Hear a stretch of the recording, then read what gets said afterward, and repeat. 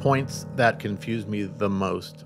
We have him as a young man in school, and then he arrives late for a function to the disgruntlement of his love. Mm-hmm. And she basically dumps him right there. Literally, the next scene cuts forward 17 years and they're married with a kid. Like, wait, what? They just broke up. There's no, like, why would that breakup scene even exist if they're going to be married in the next scene? And then we see a few dream sequences mm-hmm. where he's not of any of the earlier or later period. He, he has gray hair, but he has no mustache. So when the hell are those flashbacks supposed to be taking place and why are they even there at all?